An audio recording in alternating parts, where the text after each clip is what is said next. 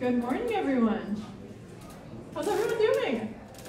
It's a beautiful Friday morning, so we can't say that we're doing bad. Um, hello, my name is Sierra Hoisington. I'm the Associate Executive Director for the Ding Darling Wildlife Society, and we are the nonprofit fundraising arm for the J.N. Ding Darling National Wildlife Refuge.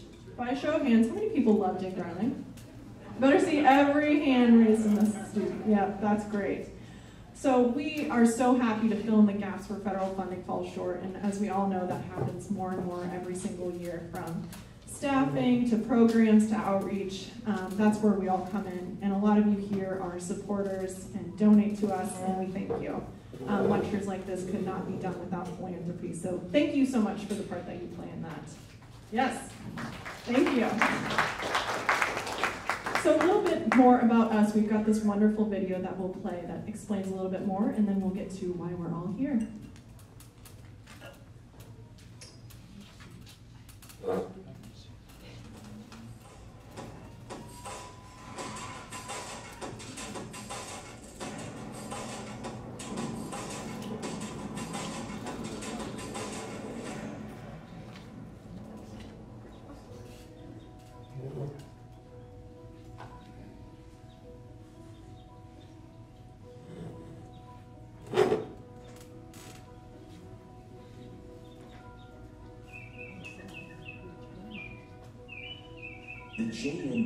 National Wildlife Refuge of today isn't here by chance. In the early 1940s, J. Norwood Darling, for whom the refuge is now named, was instrumental in the effort to block the sale of environmentally valuable land to developers.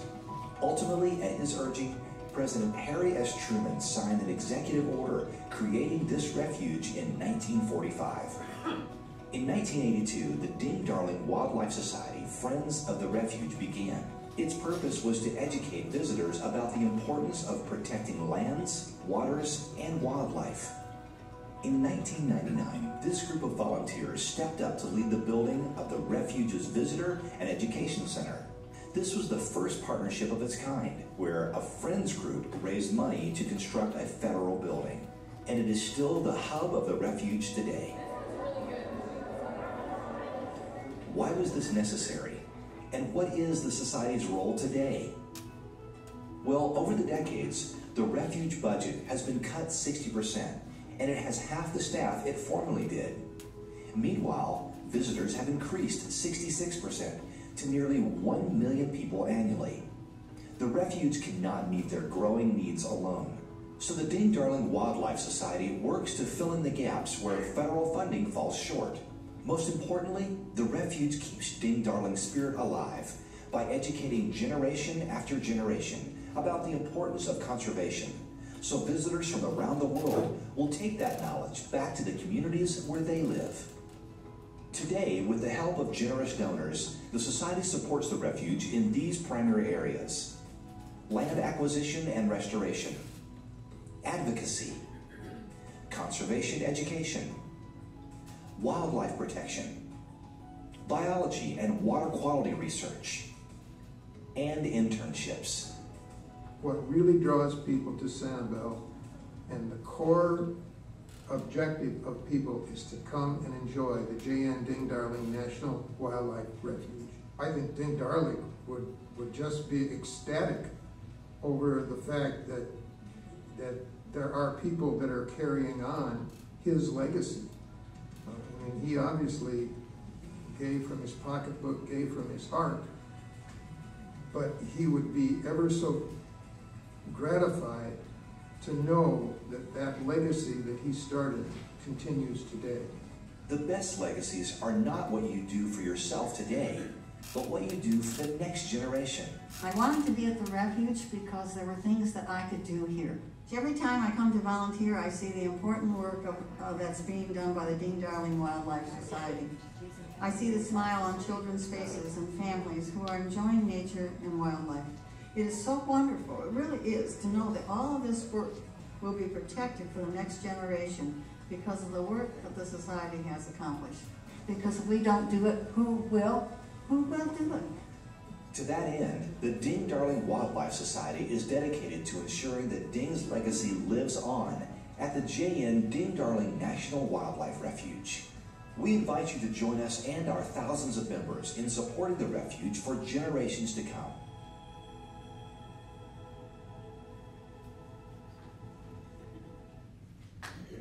Yes, so that's just a little bit more about us, and we thank all of you for all your support. Like the video said, we could not do it without our generous donors and supporters, and for that, again, we thank you.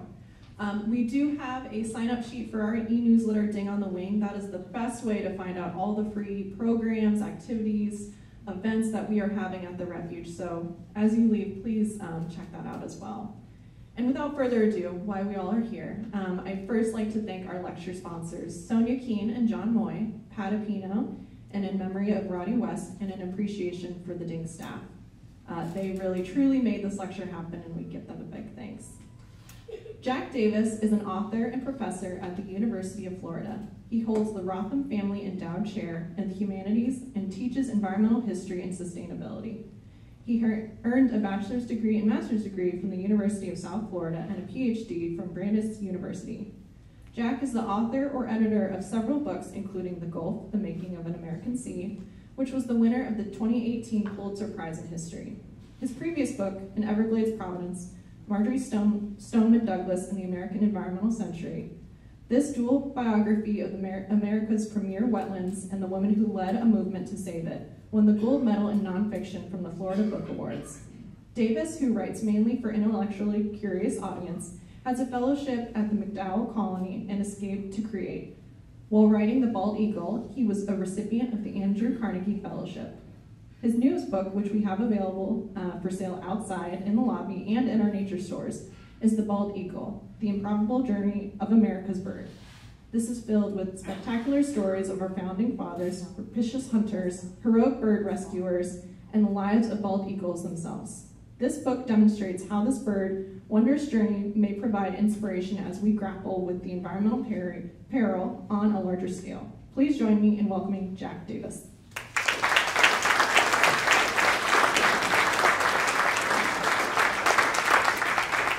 Thank you, thank you all for coming out. What a wonderful turnout. Such a beautiful day and you're inside listening to me. I don't know if I do that. I don't know if I come to listen to myself on a day like today. Um, I, I, was just in, uh, also, let me put that in perspective, I was just in Seattle uh, yesterday, as a matter of fact. And uh, Seattle was like Seattle, uh, not like this in other words. so um, it's, it's uh, nice to be back in Florida and to enjoy uh, springtime. So, and it's nice to be back here. I want to thank the Ding Darling um, uh, Wildlife Society for, for hosting me. I've spoken in Sanibel a number of times over the years on Marjory Stoneman Douglas and on the Gulf and, and on the Bald Eagle uh, a couple of years ago. And was it a year ago? Two years ago? I don't remember. It's something like that. I think it was a year ago. And so, but before the book came out, the book came out on March 1, and uh, this bird is a, a, very popular American bird, as, as you know. Uh, obviously, you're out here to uh, this morning to, to hear about it. And I want to start by telling you why I chose to write this book. Uh, after I finished the Gulf of Mexico, I was searching around for a new topic, um, and uh, I write my books for a general audience, not for my colleagues. Uh, as much as I love my colleagues and appreciate their work, but if you write an academic book, it ends up on a cold steel library shelf. Uh, and and uh, it passes the $20 test. The $20 test is you go pull your book, go to your um, university library, pull your book off the shelf, turn to page 100, put a $20 bill in there, put it back on the shelf, come back 10 years later, and you, you, you retrieve your $20 without interest. Interest on a couple of levels, know, not just monetary level. And so, uh, so when I wrote the book, uh, Gulf, it was important to me to write it for a general audience. So, the, so America would know about the sea that's more than just an oil sump in a Hurricane Alley. And but the bald eagle, it just it came to me I, after I finished the Gulf. You know, maybe the bald eagle needs its story told. People are becoming more and more familiar with it. We see ten years ago, twenty years ago, we I mean to see a bald eagle was a very rare sight. Ten years ago, it was still you know a fairly uncommon sight, and now we're seeing them all all the time. You know, we spent uh, most of our lifetime without seeing bald eagles. This, this wondrous bird, as, as we know. And now they've come back into our lives and, and we, we've embraced it. And so I wanted people who uh, are interested in the bald eagle. What, what American doesn't love the bald eagle? Whether you're a red, white, and blue American, a, tr a tree hugger, or a butterfly chaser, or a birder, or all those in one, we love the bald eagle. Um, and so I thought it would be uh, that, that Americans would like to know a little something about this bird and its historic relationship with, uh, with, with, this country and the people of this country. And, it's a, and it is indeed an, an interesting relationship, um, much more interesting than, than I realized um, when, uh, before, uh, before I started researching and, and writing this book. And um, you know, not only did I encounter a fascinating species, but I encountered a, a fascinating uh, history of the species, a biography, essentially. Um, now, of course, we know the bald eagle uh, primarily before we started seeing it in the sky so often. And, I, you know, when we see it, I like to say it's when it poked a guy in the next, uh, poked a guy in the ribs next to you. Oh, I lost something. Um, poked a guy in the ribs next to you. You know, excitement when we see a bald eagle. But before we saw now it's back. Um, before, okay, you're gonna stay there. and, um, and of course, we knew the bald eagle as, as a symbol of the nation. Uh, and it's really an interesting story how it became the symbol of the nation, which I write about in the book. And I don't want to give away too much um, um, because I want you to read the book and support uh, the, the Wildlife Society by purchasing the book, which I'm happy to sign. And if you brought Gulf books, I'm happy to sign those too. And but so the, the bald eagle um, was put on the when the, the, Great Seal was adopted in 1782 with the bald eagle on the front of the seal. It was not an obvious choice, I have to say. And I know a lot of you guys are out here thinking, oh, you know what Ben Franklin wanted. Uh, well, you're wrong, by the way. And I'm not going to tell you how you're wrong. He, did not propose, well, he did not propose a turkey for the Great Seal of the United States, as many people believe. He proposed somebody else altogether, and if you read the book, don't shout it out. Uh, and uh, you won't believe who he or what he wanted for the Great Seal of the United States. He was on the original committee to devise the seal, along with Jefferson and Adams, John Adams, sensational, stellar cast. You know, Franklin, Jefferson, Adams, who better? Um, but that committee failed miserably. And it was another six years before we finally got the seal that we have today. Uh, and that, and it was Charles Thomson, who was the, uh, uh, the president of the Continental Congress, who said, we must put the bald eagle on the front of the Great Seal. He said, he insisted that the, the, the eagle on the front of the seal be an American bald eagle, as he wrote in his instructions. Now, you can say, well, eagles have been on coats of arms and the uh, regalia and seals of nation states dating back to the Greeks and the Romans, you know, the ancient Greeks and the Romans. Uh, and that's true, but you look at those eagles and they're non-ornithological. They don't represent any particular species. Um, this is the first to go on a nation state seal that was an identifiable species. And it's a highly identifiable species with this white head and white tail and dark body. Uh, in Charles Thomson was it was a brilliant selection on his part because America at the time, this is 1782, one year before America goes uh, went to Paris to sign the peace treaty with, with Great Britain. And uh, the United States, this new republic was, uh, was intent on asserting its own identity separate of European influences. It didn't want to be known as the offspring of Great Britain. It didn't want to be like, apologies to any Canadians in here, uh, like Canada or Australia, who you know maintain this um, uh, this attachment to the, the quote unquote mother country. It wanted to be its own. Uh, and And this was an ideal bird because the bald eagle is truly an all-American bird. It lives only in, at least uh, in wild, it lives only in North America. Uh, and, and, but also it's a very charismatic bird. Uh, and it conveys uh, those qualities that the U.S., this young nation, wanted to convey to the world strength and courage, in unity as well, freedom. Uh, is truly a, a, a, it's an ideal bird to represent, you know, freedom. Uh, but also, what I think is a, why it was a brilliant selection is, I'm not even going to try the pointer because I'll probably turn something off. But this, this supraorbital ridge above its eye, you know, its brow, uh, it's, a, it's, a, it's a bony ridge above its brow. It gives it that don't tread on me stare. Doesn't it? Uh, you know, this is a bird you don't want to reckon with. Uh, and, uh, and truly so. Now, in Americans, the bald eagle, eagles have been before the Great Seal of the United States in 1782 eagles, just general non uh, specific eagles, you know, non-ornithological eagles, had been on in popular culture in, in colonial America, uh, in uh, uh all, all, all, types of decorative, in, in, the decorative arts and on signs and on logos and so forth, but not necessarily the bald eagle. But after the bald eagle went on the Great Seal of the United States, it became, the image became hugely popular. Americans started putting it on everything.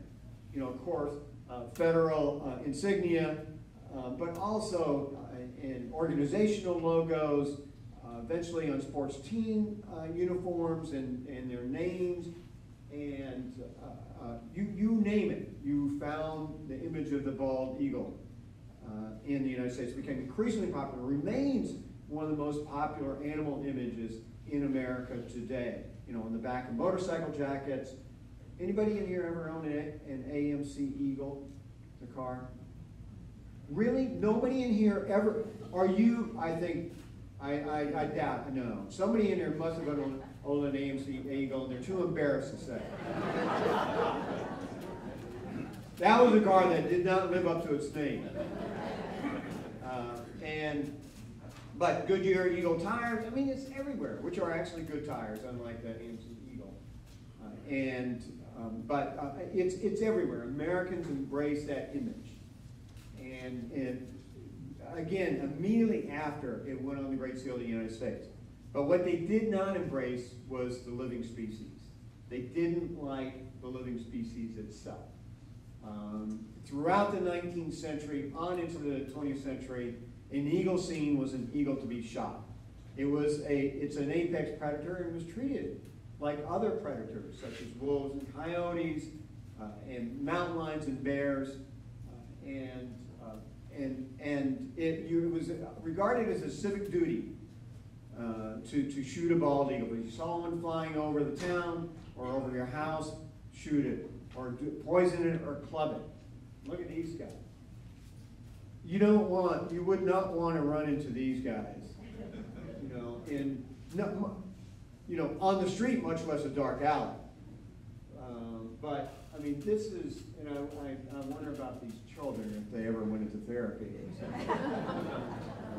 and, but this was common. I did a search, when I was doing a research for the book, I did a search at newspapers.com, uh, which is, is a database for thousands of uh, of, of daily and weekly newspapers dating back to the colonial period. A fantastic database. Anybody in here use newspapers.com? It's, it's, isn't it wonderful? It's just fantastic. I did a search from 1850 to 1920 uh, using three words in quotation marks. Bald eagle shot. And I came up with 140,000 hits, over 140,000. Um, just about any day uh, in newspapers.com throughout that period, you could find articles uh, uh, about a bald eagle being shot.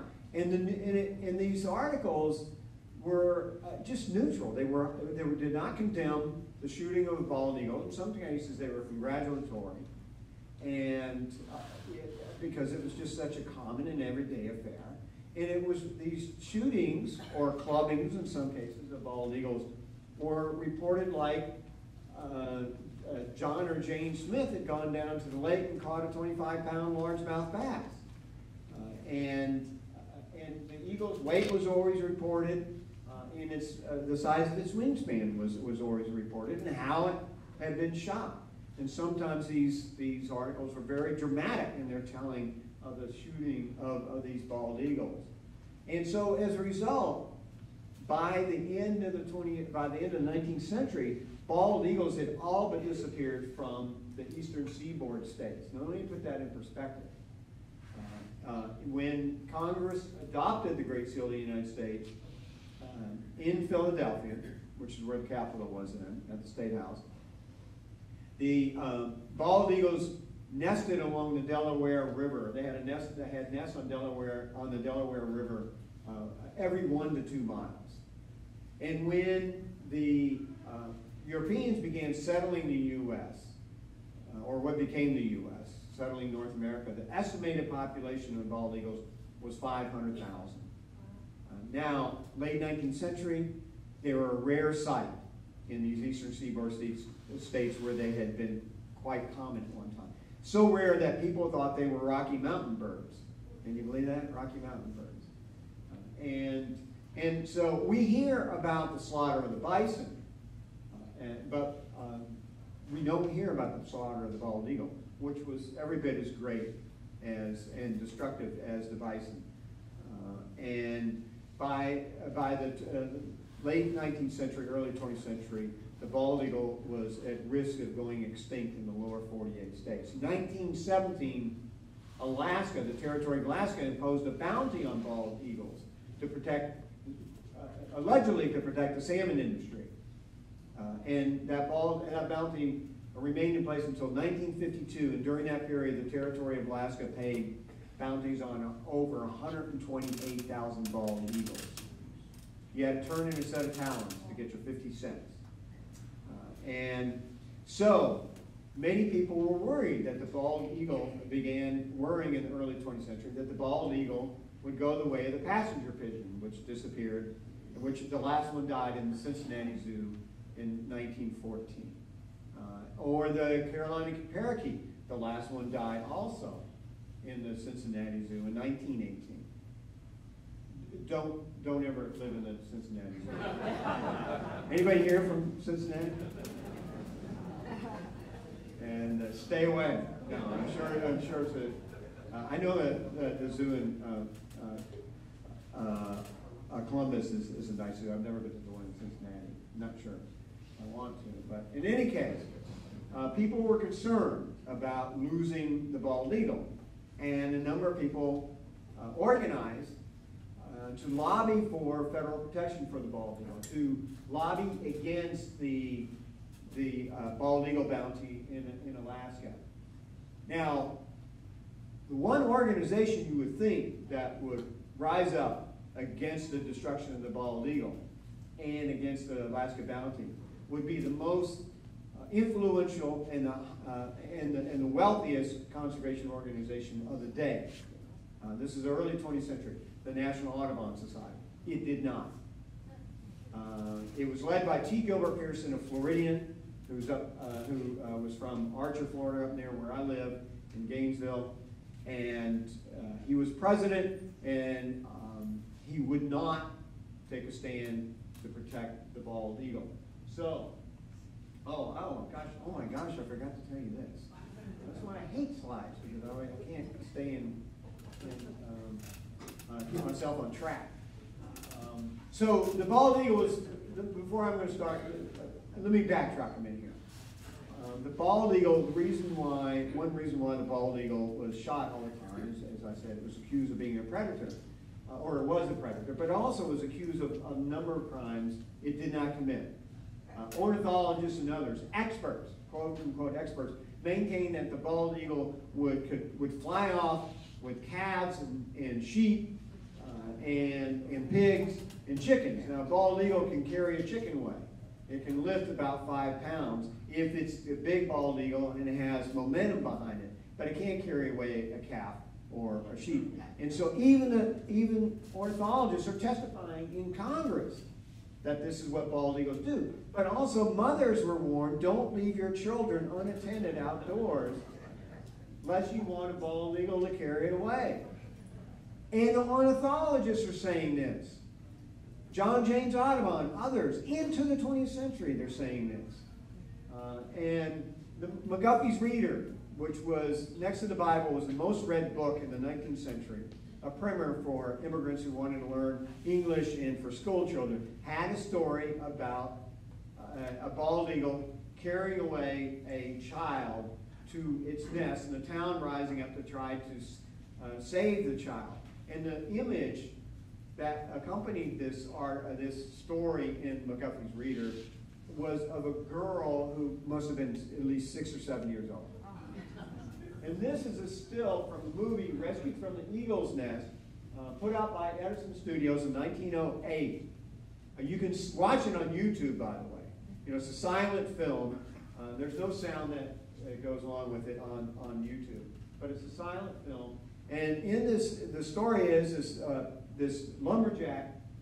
Uh, the, the, film opens up with a lumberjack uh, stepping outside his cabin with his wife and child, where they live in the woods kissing them goodbye, and then skipping off with his axe to um, for his day of work, leaving his wife and child behind. And the mother leaves the child outside and goes inside the cabin. And then you see in the next frame, you see a bald eagle, or a, this eagle, this, this pretty scary looking, flying across above the, the cabin with the, child outside. And you can hear, even though this is uh, there's no sound on YouTube, you can hear the organ in the orchestra pit, you know, rising in tone as the seagull flies past. And then it comes along and picks up. It's, it's on it's on wires. You can see the wires in the film. the wings are moved about like just like this, and it swoops down, snatches up the baby, and carries away. And you can see this poor child has her own wires. Uh, and she's crying. She's not acting, she's crying. This is in the days before protections for child actors. Uh, and, uh, and carries the, uh, uh, the child away, and the mother uh, panics, understandably, and runs and finds her husband, who makes his way to a cliff and over the edge, and down on, the, on this ledge is the, is the eagle's nest with the baby in it, and he climbs down he gets into a fight with the eagle uh, and uh, some more special effects from 1908. A club magically appears from one frame to the other in his hand. It just comes out of nowhere. Uh, and uh, he knocks the eagle out and kicks it over the ledge and celebrates and then rescues his daughter. And the, the actor playing the father was none other than D.W. Griffith. Does anybody know who, D, who was D.W. Griffith? He was the guy who made the 1915 film, uh, The Birth of a Nation, uh, the film that inspired the second reincarnation of the Ku Klux Klan uh, in, in that same year. interestingly, the reviewers of the film panned him as an actor, uh, and then he went into directing.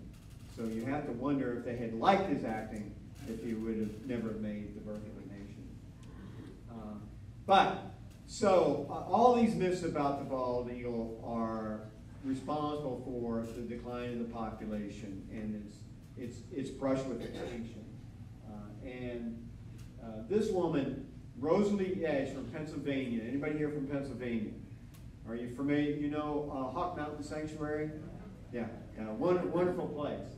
And Rosalie Edge, who was the founder of Hawk Mountain Sanctuary, was a member of, of, Audubon, of the Audubon Society. She pressured T. Gilbert Pearson to take a stand in support of the bald eagle for federal protection and uh, to uh, uh, rid uh, the, the country of the, the bald eagle bounty in Alaska. He wouldn't do it, so she started her own organization. I love the name of it, uh, the Emergency Conservation Committee.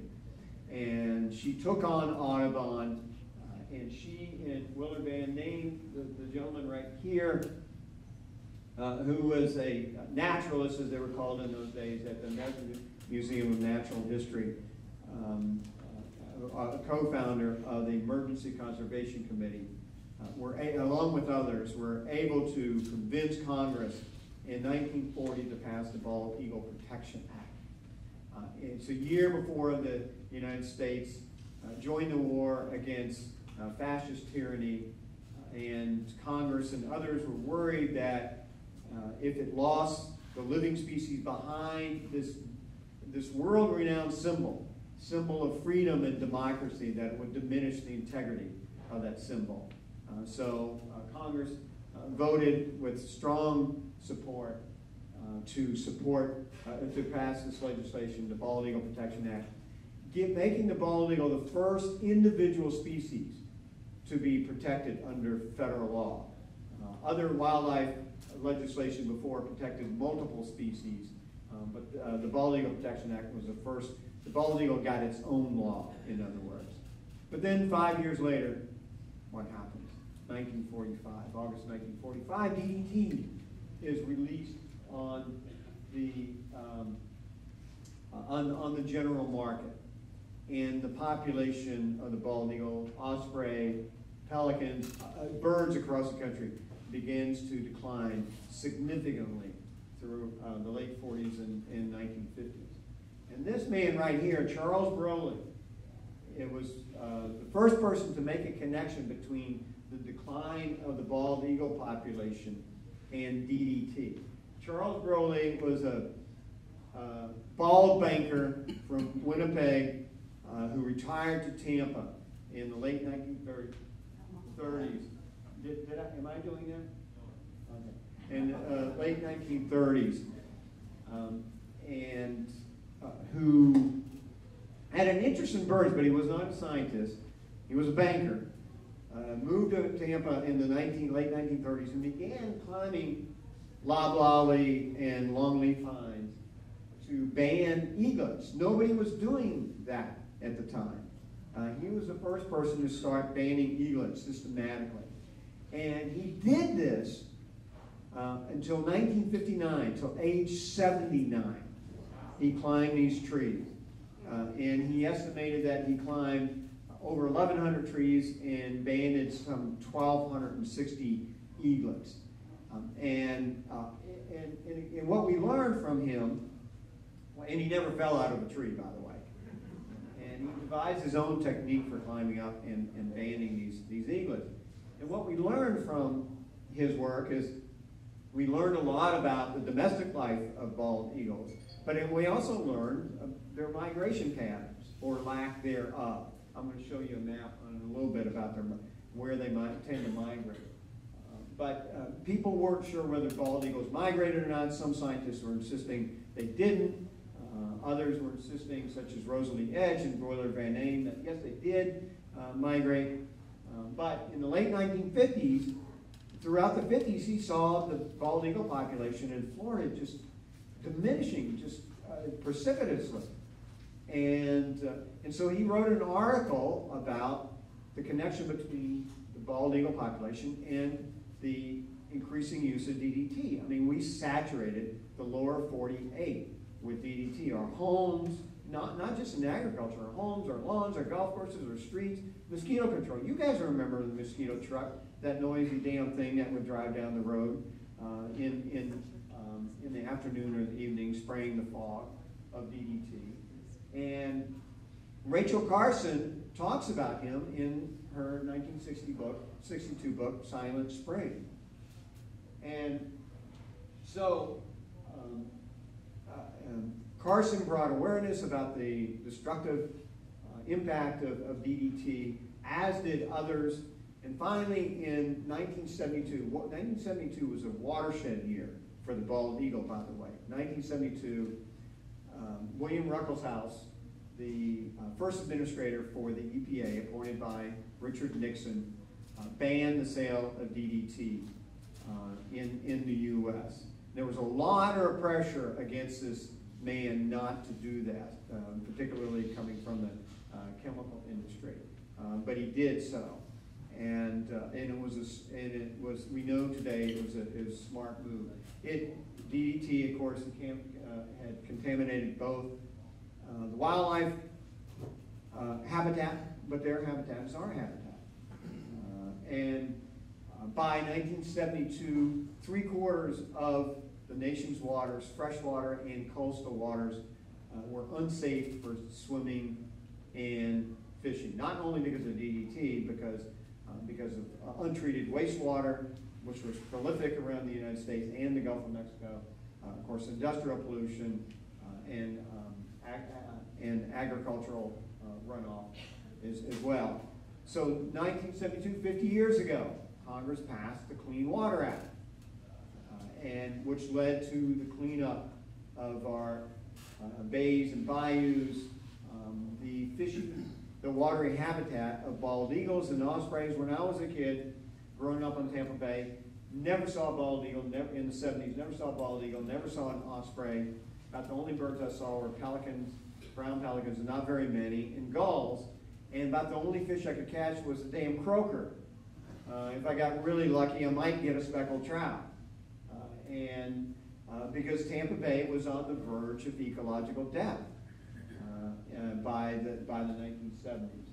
So 72, DDT is banned, Clean Water uh, Act is passed, and also Congress increased the penalty for harming bald eagles that, that year. And then in 1973, Congress passed the Endangered Species Act. The bald eagle was one of the first to go to be listed in 1974 uh, as an endangered species. And so as America's waters are being cleaned up, as these habitats, as these estuary environments, for example, are coming back to life, seagrass is coming back, fish are coming back, birds are coming back. Um, uh, the uh, Fish and Wildlife Service launched on, in the bicent bicentennial year, 1976 in the United States, an eagle restoration program around the country, uh, which depended upon, oh, we lost it again, um, which, which was, uh, uh, which were conducted in partnership with state wildlife officials and a lot of volunteers such as this person, uh, Doris Mager, who I'm going to tell you about, actually I'm going to tell you, I'm going to read about her in just a second. uh, as, I, as I close. And so some of you may be familiar, how many of you are familiar with the eagle restoration programs of the 1970s and 1980s? So what fit, uh, Paul is here. What Fish and Wildlife did, uh, along with state agencies, wildlife agencies, is, in, well, let me give you an example. In 1963, a, uh, Audubon conducted a nesting census of, a nest census of bald eagles. 1963, in the lower 48, there were only 487 nests.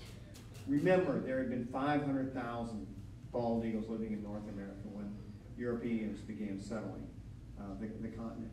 But, uh, so states such as, in New England, Maine was the only New England state uh, in the 60s and early 70s that had any nesting bald eagles, and only something like four or five nests. Uh, no others in the New England states. Pennsylvania had no nesting eagles. Ohio, which today has 700, had no nesting eagles. Uh, Maryland, none. Uh, across the South, Alabama, Mississippi, none. Uh, Georgia, none. Uh, the Carolinas, one or two sporadically from one year to the next. Uh, Louisiana, one or two. Tennessee, no nesting bald eagles. it was truly on the brink of extinction. And, uh, and so this restoration program, uh, what the fish, what Fish and Wildlife did was some states such as Michigan, northern parts of Michigan, Minnesota, uh, Alaska, um, whose bounty, by the way, was um, outlawed by uh, Congress in 1952. Alaska had a healthy uh, eagle, bald eagle population. Canada, they would bring eagles from those areas into places like Massachusetts and at five, six weeks old, and raise them in what were called hack boxes, H-A-C-K. And they're like big giant lion cages that were up on stilts outside. Raise them, feed them from behind blinds, raise them in these makeshift nests and these hack boxes. And the, and the eaglets would imprint on the, the territory, their surrounding environment. And, and in their minds, that surrounding environment became their natal territory. And eagles go back to their natal territory when they reach breeding age to find a mate and to build a nest uh, and to carry on uh, their, their species. Uh, and it became a, a phenomenal success across the country, these hack programs or hacking programs, um, uh, and restored the population in, uh, uh, in those states that had no nesting eagles. Now in the South, it was a little different. In the South, we have northern bald eagles and, and southern bald eagles. Northern bald eagles are larger than the southern bald eagles, and they can't take the heat in the South. And they don't have an immunity to an avian malaria that the southern bald eagles do. So all these southern states that had no bald eagles, nesting bald eagles, couldn't receive you know, eaglets from Michigan or, or Canada or Minnesota. And the only state that had a fairly healthy bald eagle population then was Florida. There were approximately, in 1970, approximately 300 nesting bald eagles in Florida. Not quite large enough to take eaglets uh, and move them into the other states because then Florida would lose population. And so somebody came up uh, at the, the Sutton Center in Oklahoma, came up with a plan to take eggs out of the, uh, the bald eagle nest in Florida, take them up to Oklahoma, incubate and hatch them beneath hens, and then raise them behind blinds, and when they reach six weeks old, move them into hack towers in places such as Alabama and Mississippi and Georgia and so forth. And, and over the course of four years in the 1980s, Florida Eagles, mainly up around where I'm from in north central Florida, donated 275 eggs to the cause. So now when you see a, a, nesting bald eagle in Tennessee or Alabama or Mississippi, more than likely it's a descendant of Florida eagles. Go Gators. now, but, okay, you say, well, then you took the eggs out of the nest from the Florida eagles. Um, and But we didn't lose any bald eagle population in Florida because they would take however many eggs were in the nest, take them all out. They're usually two. Sometimes there's one, sometimes there's three. But they would take them all out soon after they were laid. And so how does the female respond to that? She lays a second clutch. Uh, so Florida eagles didn't lose any population. They're heroes. Uh, and um, now we have in Florida, we have um, between 1,500 and 2,000 nesting bald eagles. Um, that's why you're seeing so, so many these days. This woman, Doris Mager, played a role uh, in bringing awareness to uh, the plight of bald eagles in, in Florida. Uh, she did a number of things which I'm going to read to you about, and then, then I'll stop then. Uh, and she uh, was also the person who uh, was convinced the state of Florida to start conducting a a, a, census of nesting eagles in the 1970s from, uh, from airplanes, and she did a number of other things, and um, she um, uh, also, um, along with others, including Florida Fish and Game, um, were responsible for the egg relocation program I, I, I talked about. By 1999, the bald eagle population was healthy enough to come off the endangered species list. Uh, bureaucratic inertia in Washington, you ever heard of that? Delayed you listening to 2007 when the bald eagle population nationwide was um, uh, 10, between 10 and 11,000. In the 2010s, the bald eagle population quadrupled. Isn't that remarkable? Quadrupled. Um, now, that's thanks to the restoration program, that's thanks to the Clean Water Act, uh, and that's thanks to the Bald Eagle Protection Act, but it's also thanks to these guys themselves. And if any of you, how many of you guys watched the Southwest Florida nest camp?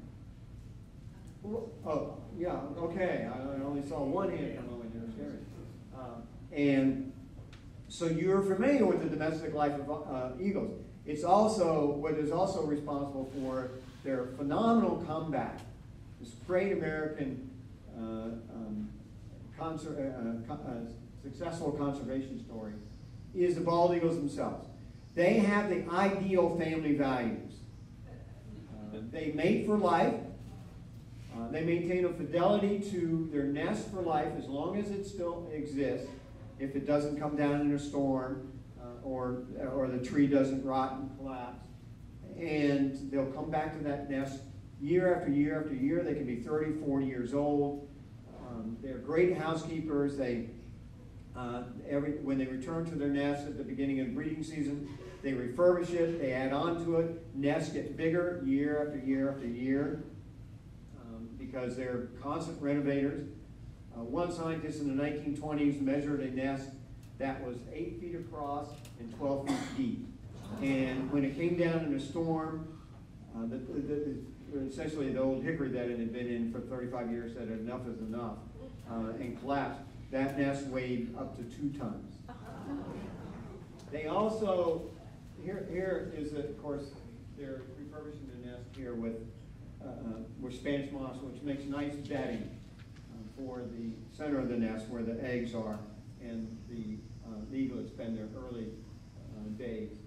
And they take such good care of their young that when they leave their territory, their natal territory at uh, age 16 to eight, uh, 20 weeks, they often weigh more than their parents. And, and this is where they go. Well, well there's an immature, uh, which you, you've probably seen. They don't get their white tail feathers, full white tail feathers and head feathers until four to five years years old, and that's when they reach breeding age. But um, here's a wonderful shot that was taken up by uh, where I live. But this is where they migrate. Look at these guys coming out from. They don't. They don't fly out here. I had to do it like this so you could. So this wouldn't just be one big black swath. Um, but the, the, the eagles from Florida, they go as far as Canada. They migrate as far as Canada. Some of them just go to Georgia. Some of them stay within the state. Don't migrate very far at all. Uh, but at the end of the breeding season, the juveniles will leave first. After they leave, uh, the parents leave. The female goes off in her direction. The male goes off in his, which probably has something to do about mating for life, the success of mating for life. And then they return at the end of the breeding season uh, again to their nest. And if their nest happens to be destroyed, they immediately start rebuilding. And it's all about location, location, location, where they build their nest. They want a tall tree that has a good view of their territory, and, and in most cases, bald eagles build nests within a couple hundred yards of water where there's fish. Uh, they, they will eat land animals and birds, but they prefer fish. They are considered a fishing raptor like osprey. And but look at they go all the way up here. They go uh, all these various places. The northern bald eagles come south uh, between breeding seasons. The southern bald eagles go north. I mean, look at these guys from Saskatchewan coming down to Colorado, and the Colorado birds go up to Saskatchewan. Uh, what is it called when you trade houses? Uh, and but they don't hang out in the nest between breeding season. They're branchers. They they uh, spend their nights in branches and spend their days, of course, fishing and stealing fish from osprey and from each other. Uh, by the way, which scientists say is smart behavior, stealing from food from other animals. So let me, I want to read you just uh, about Doris Mager because uh, I encountered a lot of really interesting um, people in this story along with interesting birds. And uh, Doris Mager is, is one of my one of my favorites. And uh, uh, again, among among so many. And uh, so I'm going to read this, just give you a, a little bit of flavor of the book, and, uh, and then I'll take questions.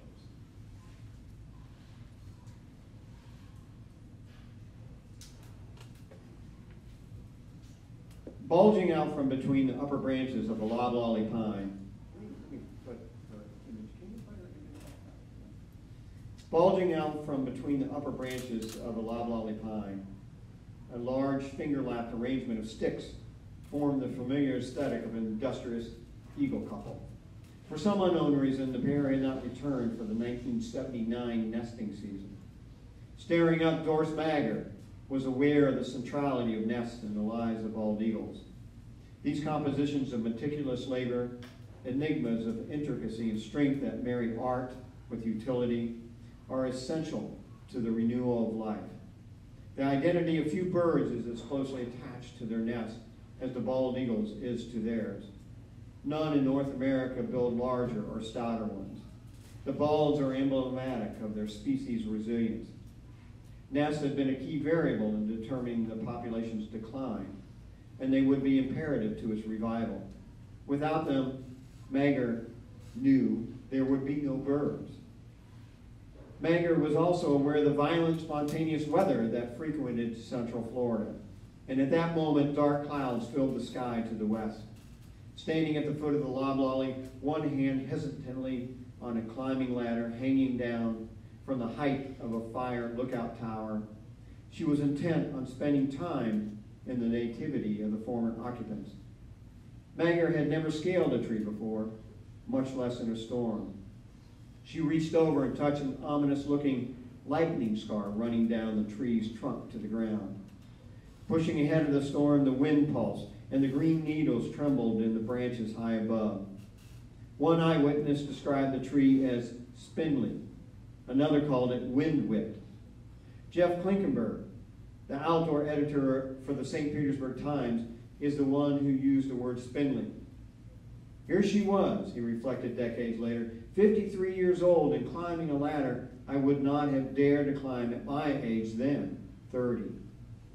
Before putting herself at the mercy of the swelling wind, Mager tied a red bandana around the, her head of silver hair, which she had had, which he had had cut and styled in a new hairdo for the occasion.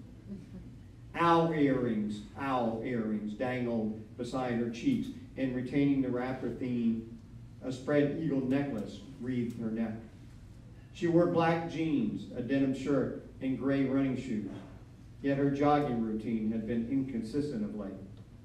In relating that detail, she confessed to Klinkenberg, I've got fat little legs, and I probably shouldn't be that far off the ground at my age. She slipped into a safety harness secured to an upper branch. Alongside the harness lying the grounding cable of a lightning rod chased down the side of the tree. A number of precautions were taken that day, and Mager added one of her own by swallowing a motion sickness pill. I get airsick and I get seasick, she again confessed to Klinkenberg. And I'm probably going to get nest sick. Mager put one foot up on a lower rung and followed that with the other on the next rung. Grabbing a third at eye level with both hands, she stared nervously into the tree's rust-colored scaly bark and coaxed herself upward toward a 50-foot summit. Whenever the wind kicked up, the tree creaked like an old door. When it swung like one, she would pause, grip the ladder tighter, and take a deep breath. She shouted to a friend below, Get down on your knees, Viola, and pray. So what Mager did, ultimately did, was she spent six days in this abandoned eagle's nest in central Florida to raise awareness about the plight of the bald eagles. This is 1979. Uh, and then she was also trying to raise funds uh, or money to fund the construction of an, uh, of an eagle aviary at National Audubon. She had started um, raptor rehabilitation in the 1960s in her backyard. Um, and uh, now it was time by the 1970s to move her operations to a, a more legitimate facility. And she, and she was successful. She, what she did, her, her nest in, as the press called it, gained national attention. Life magazine, Time magazines, uh, Look magazine all reported on this. Uh, and, um, uh, oh, jeez. Um, Harvey, Harvey, that uh, radio guy. Paul Harvey. Even Paul Harvey talked about her.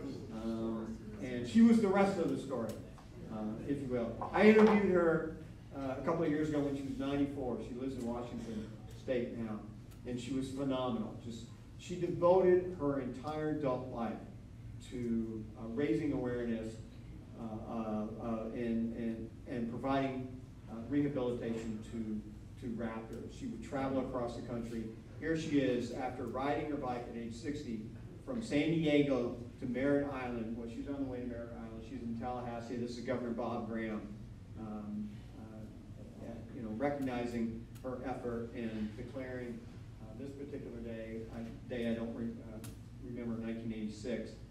Uh, oh, it was Flag Day in 1986, uh, Doris Mager Day in, in Florida. and she told me, I talked to her during, in the middle of COVID, she said, as soon as COVID's finished, I'm going back out.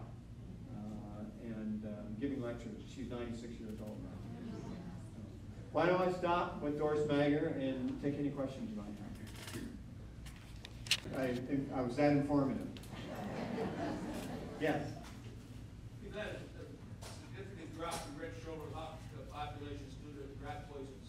We've also lost chick in the southwest Florida to the rat poisons. Is there any move afoot to uh, control second generation rat poisons? Um, thank you for, for, uh, bringing that, uh, subject up. Uh, So he was talking about losing red-tailed hawks to rat poison.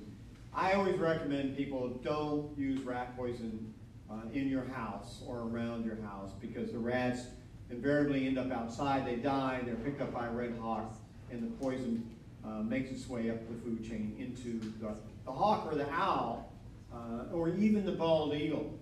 And uh, I am, and, and, and often it cripples them or, or, or they die, uh, just like, just like the rat does.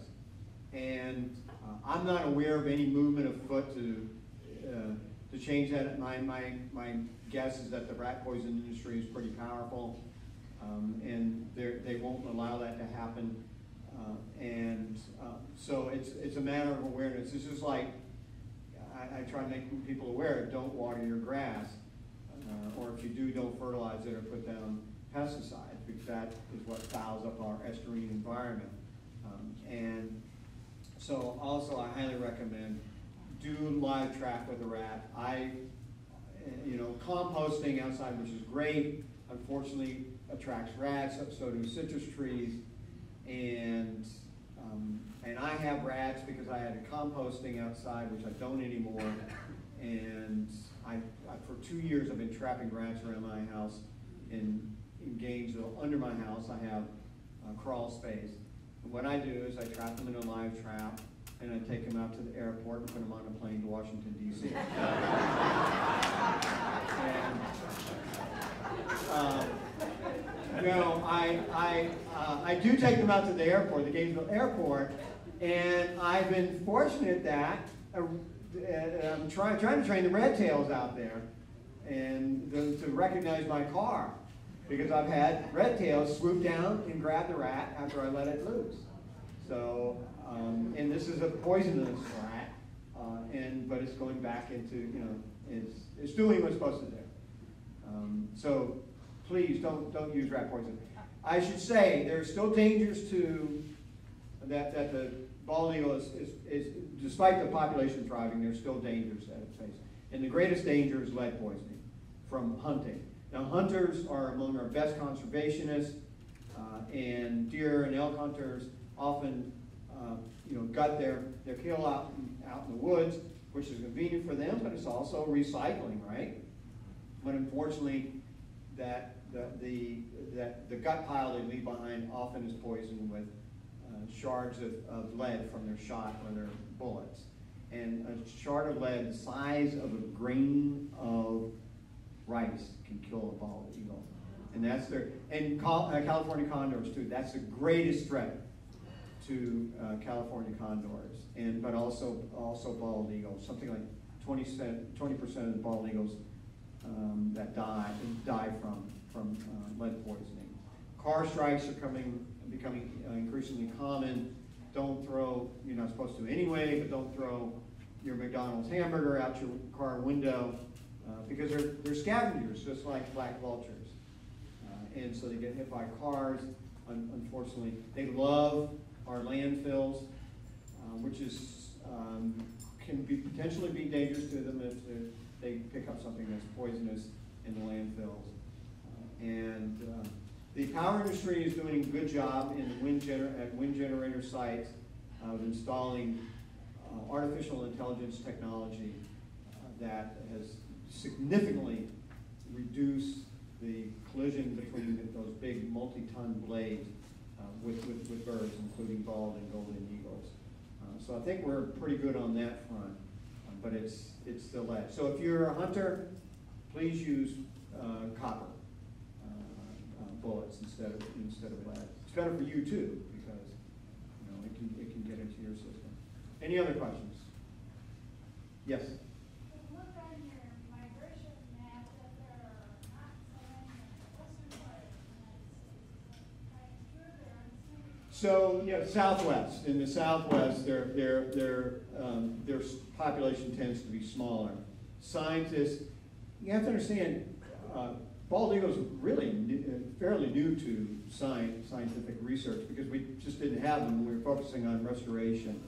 So science isn't sure why their population is smaller in, in the southwest than other parts of the United States. It could have something to do with the geography, the terrain, and it could also have something to do with uh, golden eagles, which uh, are more prolific in, in the, in the southwest. They don't, they're not a fish-eating raptor. Uh, they, they, uh, uh, birds and land animals. Uh, so it can, could be a lack of, of aquatic food sources for bald eagles that's responsible for that.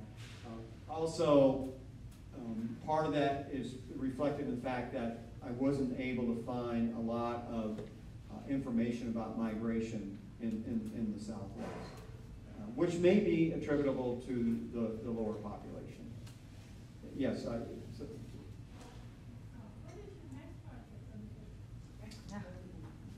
let me, let me get your opinion on this, okay? Because I'm, I'm, I'm I'm not sure. I, I want to focus, you know, this is a great environmental success story, and I wrote this book because environmental writers tend to focus on the grim and the tragic, you know, the doom and the gloom, and I wanted to give readers a break from that. Not, not that there's not a lot of grim and tragic in the history of the bald eagle's relationship with the United States, but there's redemption too, right? And there's this great, you know, this is a story that we deserve a pat on the back for. And as I say in the book, when you see a bald eagle flying in the sky, you're witnessing a pat on the back for what we, you know, what we did right. Uh, so I want to write, I'm think, I want to write another environmental success story. And I, because I think as we face these challenges of the 21st century, we need some positive reinforcement. Um, we don't need just negativity. And to show that we can do it again. So I'm thinking about writing a book on the history of environmental successes, focusing on perhaps four um, major stories, um, you know, like the bald eagle, but not the bald eagle. And uh, but I'm also thinking of writing a, uh, a book, cultural and natural history of the of, of the black bear. How does that sound to you? Would that be a book you'd be interested in reading? Okay. There's a yes. Somebody's got his hand way up in the back. Yeah, uh, we've been watching some, uh, eagle fledglings for the last three months. And, uh, it seems like right now they're on the side of their nests and they're flapping their wings. Yeah. When will, when could, we've been So they, they will fledge around 16 weeks, uh, 12 to 16 weeks. No, 12 weeks, excuse me. Uh, they'll fledge usually right around 12 weeks, but they'll stay in the territory, stay in the nest uh, until 16 to 20 weeks because mom and dad continue to feed them. It's like us keeping food in the refrigerator for our kids. Uh, and so they- they'll stay around until about 20 weeks around the territory. And when they do leave, will they stay in the area? Because we've noticed another young eagle That was with them. a previous, more than likely a previous generation that came back after it migrated because it remembers mom and dad fed it. Uh, and, and there's often fights between mom and dad and, and their kids from the previous years. They, they're, they're concentrating on the current generation rather than the past generation. So more than likely, those juvies that you're seeing this year, the, the, the, the, the- that are a year or two old, went off somewhere else and they've come back. And then osprey hawk fights in the air, in midair. Have Yeah. you seen? Yeah, oh yeah, yeah. Oh, Unbelievable. Yes, yes, it is unbelievable. And uh, we're out of time. I'm, I'm, the hook is coming and pulling me. No, the talent, the talent is coming away. Thank you.